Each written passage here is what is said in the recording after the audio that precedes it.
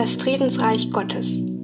Wir alle wollen einmal dort sein und das Heil erlangen. Wir wollen das ewige Leben und die ewige Gemeinschaft mit Gott haben. Und wir wissen, dass wir dafür etwas tun müssen.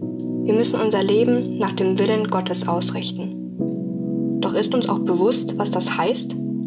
Ist uns bewusst, was es heißt, dem Bösen zu entsagen und Gott zu dienen? Nun ja, ich glaube, wir wissen schon, was es bedeutet. Nur ist die Umsetzung gar nicht so einfach. Wenn es da zum Beispiel jemanden gibt, der dich die ganze Zeit ärgert und Dinge über dich erzählt, die überhaupt nicht wahr sind, aber jeder sie glaubt und sich von dir abwendet, dann kannst du entweder zurückschlagen und auch Lügen über diese Person verbreiten, damit sie spürt, wie du dich gerade fühlst, oder du bleibst passiv und tust nichts dergleichen. In so einer Situation die richtige Entscheidung zu treffen, ist verdammt schwer. Doch genau in solchen Situationen müssen wir dem Bösen widerstehen und auf Gott vertrauen. Das ist nicht leicht und wird uns auch nicht immer gelingen. Aber Gott hat denen, die ihn lieb haben, ewige Gemeinschaft mit ihm versprochen. Also auch wenn wir mal Zweifel haben, dürfen wir das Ziel, die Wiederkunft Jesu Christi, nicht aus den Augen verlieren. Und so können wir uns bemühen, zu handeln, wie es Jesus als Mensch getan hat, nämlich voller Liebe für unsere Nächsten und unbeschreiblich großer Liebe zu Gott. Denn das ist es, was Gott will und was wir tun müssen, um Heil in seinem Himmelsreich zu erlangen. Aber das ist nicht alles, denn viel wichtiger als es nur zu tun, ist es auch zu wollen, so leben zu wollen wie Jesus und für immer bei ihm zu sein.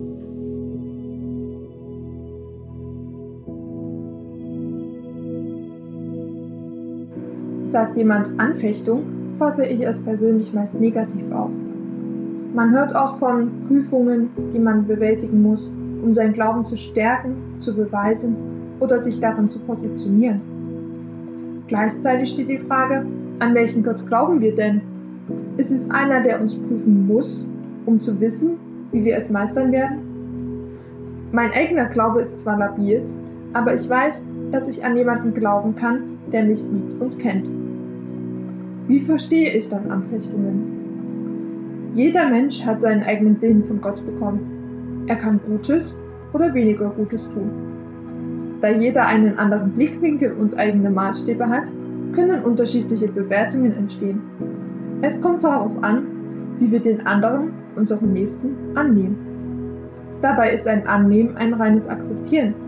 Es heißt nicht, dass man die Meinungen des anderen übernehmen oder Selbstverständnis dafür entwickeln muss. Es ist ausschließlich die Einstellung, mein Gegenüber ist ein Mensch, genau wie ich. Dazu muss man kein Christ sein. Meine größte Herausforderung ist, beim Akzeptieren keine verletzenden Worte in mich zu stopfen. Denn, wenn man jemanden als Menschen annehmen möchte, müssen gleichzeitig nicht alle Schranken zur Seele aufgetan sein. Sind sie es, müssen viele Tränen mit mehreren Waschgängen die Seele reinigen, bis man seinen Blick wieder nach vorn richten kann und sein Krönchen gerade rückt.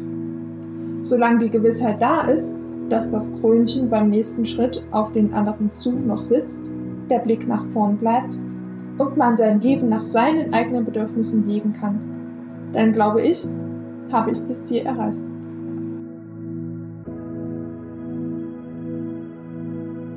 Beim Lesen unseres Wortes heute wurde ich erstmal stutzig, da es meiner Ansicht nach etwas missverständlich ist. Es klingt erstmal so, als müsste man Anfechtungen erdulden, um die Lebenskrone zu empfangen. Zeitgemäß formuliert, du musst da durch, sonst kommst du nicht in den Himmel. Aber beim genaueren Hinschauen habe ich das dann wieder etwas anders verstanden. Ich gliedere es mal von hinten auf. Die Krone des Lebens hat Gott denen verheißen, die ihn lieb haben. Das ist also die Bedingung, ihn lieb zu haben. Man empfängt die Krone des Lebens, nachdem man bewährt ist, also nach den Anfechtungen, und die kommen im Leben ja sowieso. Und jetzt der Bonus obendrauf. Wer die Anfechtungen erduldet, wird selig. Und selig heißt laut Katechismus und Fragen und Antworten nichts anderes als glücklich. Wenn du jetzt also gerade in einer Krise steckst und die Situation echt einfach nicht mehr in deiner Hand liegt, dann versuch sie anzunehmen. Lass das Kämpfen, Ringen, Hadern einfach mal sein.